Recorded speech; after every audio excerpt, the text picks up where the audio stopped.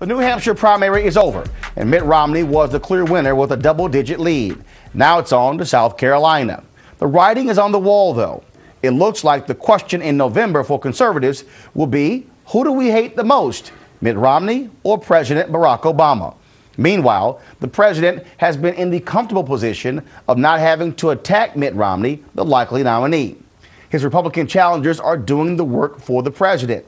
We're talking about campaign 2012 with President Barack Obama's man at the Democratic National Committee, Executive Director Patrick Gaspard. Patrick, welcome to Washington Watch. Thank you for having me, Roland. All right, one of the issues that, that we clearly see, first of all, the president's job approval numbers uh, have been on the increase in the last uh, several months, uh, but clearly his performance still is an issue. Folks say he has not handled the economy well.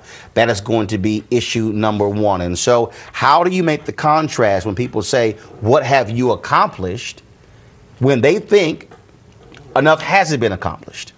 Well, uh, Roland, I have a lot of faith in your audience, and they know that when this president walked in, we already had lost 8 million jobs in the recession, and as a consequence of policies that he put in place and really tough decisions that the president uh, led on, we've grown the private sector by over 3 million jobs in the last 22 months. And uh, there was a report last week that demonstrated that for the first time in years, we've seen an increase in manufacturing as well. And I know that I don't have to tell you and a lot of uh, your, uh, your, uh, your audience what we did uh, in saving the iconic American automobile industry, which Mitt Romney and every single Republican up on Capitol Hill told us we should allow to just drop dead. There's no doubt 2012 strategy will look different from 2008. Eight was focused on hope and change, but you're dealing with a significant number of people who say we've been let down by this president young voters. I've heard it from lots of African Americans, uh, independent voters as well. And so, how do you deal with that when people say, we thought he was different,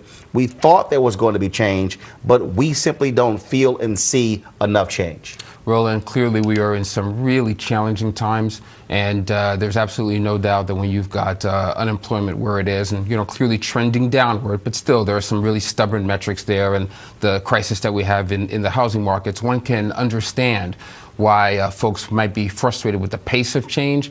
But I also know when I get around this country, when the president gets around this country, we talk to young folks and we talk to all Americans, they appreciate that change is the kind of president who stares down the banks and says, I'm not going to give you the money for direct student aid. I'm going to give it directly to students. We're going to double the size of Pell Grants so that our children can out innovate and compete with the rest of the world. They also know that change looks like a candidate who says, I'm going to draw down the war in Iraq and bring those brave men and women home so they can serve in this country. And then he manages to uh, fulfill uh, that commitment for them. That looks like change. And I also know, particularly for the young folk who are out there uh, wondering uh, what the future is going to look like for them, when they step back and they see that as a result of the health care reform that this president passed, millions of young folks now have access to quality care through health insurance that didn't have it before that law was passed. That looks like change to them. And I know that they're going to double down on the bet that they made uh, on uh, Barack Obama in uh, 2008? Uh, one of the things that I talked about after 2008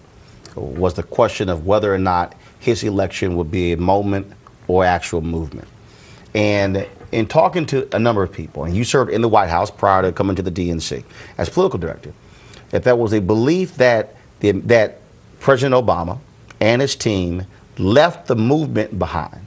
Was that a mistake, leaving that movement behind and not saying, look, we need you involved in every step of the way versus we're over here doing our own thing it's been very clear to us from day one that it would be really, really difficult to kind of sustain the energy that we had in the first time candidacy uh, in 2008 and all the energy that Democrats had to uh, move past eight years of George Bush.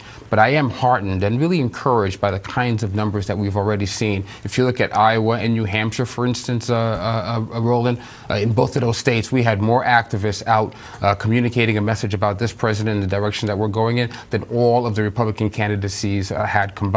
So we understand some of the frustration that exists out there, but I want to assure you uh, and everyone in your audience that we have never moved away from the movement in Iowa, Ohio, Florida, Virginia, North Carolina, and all the states uh, that uh, not only are going to matter in this election, but are going to be a part of um, uh, growing economic security for all Americans. African Americans are vital to the president's reelection campaign. When you look mm-hmm. at 2008, uh, African Americans were so vital when you talk about North Carolina even winning narrowly in Indiana. Mm-hmm. And then when you begin to look at some of the other states as well. And so, uh, how robust will this campaign be in terms of targeting African Americans, not just saying, hey, folks thinking, we're going to bank on their votes. Because I've heard David David Plouffe, I've heard uh, Jim Messina say we're going to meet or exceed what we did in 2008. Frankly, I think that's crazy talk to somehow think you're going to actually do that. But I get trying to be proactive, uh, but what? How involved will that be in terms of reaching out to them? Whether it's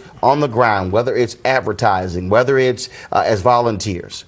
We have the, the, the, again another great question, Roland. We have the most ambitious uh, field program that uh, I've ever seen in my 20 years of working on national political campaigns, and that includes our effort uh, in 2008. We've already had very early conversations with grass tops leaders, folks at the grassroots, a lot of folks in the uh, faith community who know that now is the time to uh, begin to get the message out 10 months out, not 10 weeks out. So there's been early engagement in the African American community, and uh, all communities are going to help determine the outcome outcome of this election. What about the impact of voter suppression laws that have been passed? Uh, of course, Republicans will say voter protection laws, but when you look at, it, frankly, preventing folks from voting, putting up barriers. This is of serious consequence for not just this election, Roland, but for our democracy moving forward. We believe that we're a party that's trying to grow access while Republicans, particularly those who are running for president this year and for House and Senate, are doing all that they can to limit participation in the system. A few weeks ago, you had one of my colleagues on your show who talked talked about the robust voter protection uh, uh, instrument that we're standing up right now. If uh, your uh, viewers want to learn more about this, they should go to Democrats.org. Uh, uh, there's a report that lays out in detail all that we're doing right now in state after state, like Florida, where Republicans have tried to eliminate early vote and force folks to have photo IDs. In Texas, for instance, where they're allowing people with gun licenses to come in and vote, but if you're a student and you're and you want to use a student ID, they're denying you your franchise franchise. If, so you go to a private college. If you go to a private college, that's that's exactly right. So in state after state, there are I think 36 uh, Republican state legislatures now that have pushed uh, some of these regressive laws. And in places like Ohio, we've gone on the ground, we've collected petitions, and we've uh, fought back against this efforts, and we're going to continue to do so because it has profound consequence. Again, not just for this year, but for years to come. All right, Patrick, we certainly appreciate it. Thanks so much. Oh, please, anytime, Roland.